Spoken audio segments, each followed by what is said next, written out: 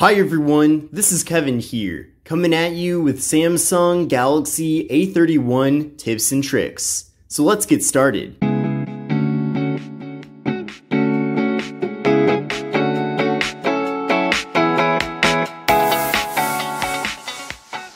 So the first tip that I want to show you is how to get a battery percentage to appear in the top corner of your device. So by default, you can't see the percentage and I know many of you would want to see it. So to do this, pull down the shade, go to the settings, then go to search, and then from there you can type in battery or show battery percentage, but essentially search that up. You'll see here a suggestion for show battery percentage, tap on that, and then from here, tap on show battery percentage.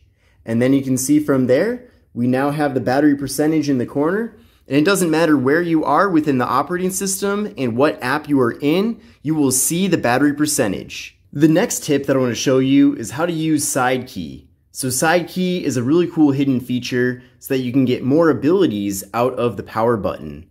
So pull down the shade, go to settings, go to search, type in side, and then you'll see SideKey right there. So go to SideKey. You'll see that you have some different options. Now, I already enabled SideKey prior to making this video, but you can see here that essentially, once you turn it on, you can now get new toggles by double tapping on the power button. So right now, it's set to launch the camera, and that's really convenient. You can see, for example, if I have the display off and I double tap on the power button, it will immediately go over to the camera. So that's really convenient. But if you do have a certain preference, maybe there's a different app that you would rather use with SideKey instead, you can do that. So you can switch over to Open App. I had that set up already to go to Uber, but you can go over to the gear and then you can choose any of the different apps on your device to open up with a double tap of the power button. So like I said, I already have it set up to work with Uber. So if I'm on the home screen, for example, and I want to go to that app, I can now just double press on that power button and you can see the Uber app just started.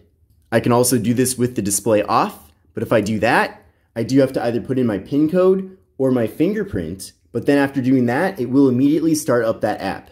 So that's really awesome and very useful. So with Android 10, they have further expanded the gestures. So by default, you do get the traditional Android navigation buttons, and I personally do find those to be useful because I am very familiar with them. But if you do want to get gestures instead, which in some ways can make using the device easier, but can also give you more screen real estate, you can do that with no issues at all. So to do that, pull down the shade, go to the settings, go to search, and then type in navigation, or at least start typing in navigation, and then you'll see right here, display navigation bar. So go to that, go to navigation bar, and then from here you have some different options. So the first option that you have is that you can actually change the button order at the bottom. So if you prefer, for example, to have your back button on the left side and your recent apps button on the right side, you can easily make that change. So that's one option you have there. But then the other option is to get full screen gestures. So if you're someone that maybe has previously used an iPhone, like an iPhone 10 or even the newest iPhone 11, you know that gestures are a big part of the experience with that phone, but you can get it here with your Galaxy A31. So if you want to do this, go to full screen gestures right there. And then after you do that, you can see that instead of having the standard buttons at the bottom, you instead have this little line here. And then from there, you can just swipe up to go to your home screen. You can also swipe up partially to access your recent apps. And then if you want to go back, you can swipe from the side of the screen. You can even take things a step further by going to more options. And then from there, you can actually adjust it so that if you swipe from the middle, it will do the home button. If you swipe from the right side, it will do the recent apps. And if you swipe from the left side, it will do the back button. And you can also adjust the sensitivity as well. Another cool thing too is that with these full screen gestures, you can turn off gesture hints, which what that does is, is that it actually completely removes that line at the bottom. So everything still works the same, except it is hidden. So you can swipe up, you can go to your home screen, do all of that normal stuff, but you can see here that there's no line or anything. So if you go into different applications, you're gonna be able to use even more of the screen real estate and it is going to be a very immersive experience. So that's all really useful. So if you decide to use full screen gestures, this is how you do it. So by default, when you go to your lock screen here, you have a clock and you actually have the ability to customize that. I know a lot of people don't know about that. So to do this, go to your home screen. Then from there, go to the settings and then go to search and then type in clock. And then you'll see under lock screen clock style. So tap on clock style, then go there.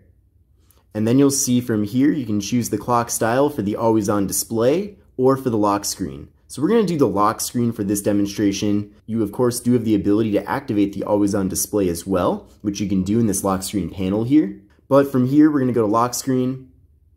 And then you can see we have a choice of a bunch of different clocks. So that's really awesome. So I'm going to switch over to this clock. And then you even have the ability to customize the color of the clock. So they have some pre-curated colors here. There's also a color wheel. And you can also have it pick the color based on the background. But we're going to go with green for this color. So to implement this change, I just go to Done.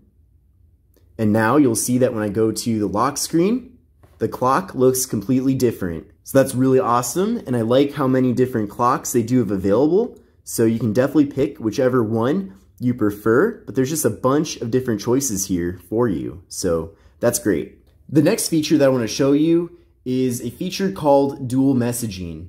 So with many apps, like Snapchat for example, and Facebook, you can only sign in with one account at a time, and that can be very frustrating. But thankfully, with the Galaxy A31, you can actually download two copies of the same app so that you can access both accounts on the device without having to log out of one and log back into another.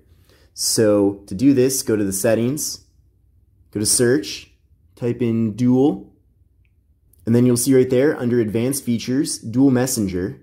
So go to dual messenger, and then from there, whatever apps you have installed that are compatible with it will appear. So you can see that I have both Snapchat and Facebook available here to use with dual messenger. Now, I personally don't need this feature because I only have one account for each of these applications. But if you happen to have multiple accounts, maybe, for example, on Snapchat, one account is like your influencer account, or maybe it's a business account and a personal account, whatever it is, you can then access both accounts. So that's a really cool feature though, and something that, you know, you can't do with iOS, that's for sure. And it's really sweet that you can do it here with the Galaxy A31. One of my favorite features with Android is that we get an app drawer. It's a really awesome feature, of course, a great way to find all of your various apps that you have installed. But if for some reason you want to hide one of these apps, maybe you want to further organize things, for example, or maybe there's an app that's pre-installed that you don't have the ability to uninstall, but you don't want it taking up space here, then you actually have the ability to hide different apps. So for example, let's hide Facebook. So to do that, you need to go to the home screen, hold down on the home screen itself, go to home screen settings, and then from there, go down to hide apps. So tap on hide apps, and then you'll see all your various apps listed here. So I'm gonna hide Facebook. So I'm gonna tap on that, and you can see Facebook is now listed under the hidden apps on the phone. So then from here, I'm going to tap on done. And now you can see that Facebook is nowhere to be found anywhere throughout the device. So that's really awesome. Now, if you do want to bring it back, you just do the same thing. Hold down on the home screen, go to home screen settings, go down to hide apps, and then remove Facebook from your hidden apps, and then tap on done. Then from there, you can see that Facebook has now returned to the app drawer. So that's a really awesome feature. So the next feature I want to show you allows you to double tap on the display to wake it up. So to do this, pull down the shade, go to settings, type in lift, and then you'll see lift awake right there.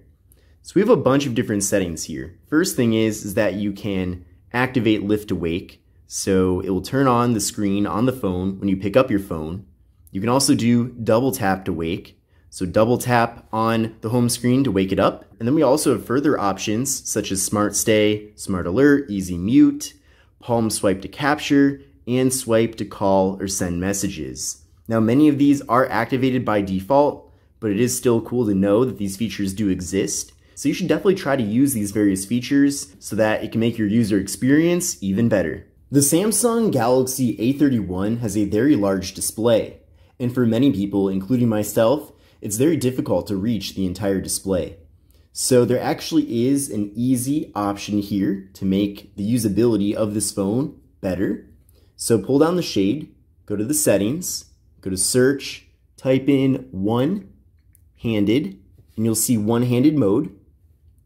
And then from there, go to one-handed mode. And then you can see here that you do have the ability to actually turn this mode on. So turn on the mode, and you have some different options here to activate it. So the first option is to do a gesture, so a swipe down gesture on the home button, or you can just double tap on the home button. So I'm gonna do that. So double tap on the home button, and you can see when I do that, it now switches things into one-handed mode. So essentially, you're getting like a mini phone. So you can do whatever you want that you normally do on your device, but everything is a lot smaller now and easy to access and toggle. You can of course easily go back by double tapping on the home button. And you can go back to it again by doing that. So very convenient. You can also resize how small or large you want this miniature display to be. And if you want to move it, for example, over to the left side, tap on the arrow and it'll move it over. Or you can move it over to the right side as well. And then if you want to go back to the settings, just tap on the gear and it'll bring you over to the one-handed mode settings. So that's really awesome. I think it's a really sweet feature, and I think it will definitely help out many people. So with Samsung's One UI 2.0, you do get quite a few animations. Uh, you do get quite a few animations throughout the interface here. Now, there is a nice, quick, and easy way to reduce the animations, and you can also quickly remove them. And now you can do that without even going to the developer options.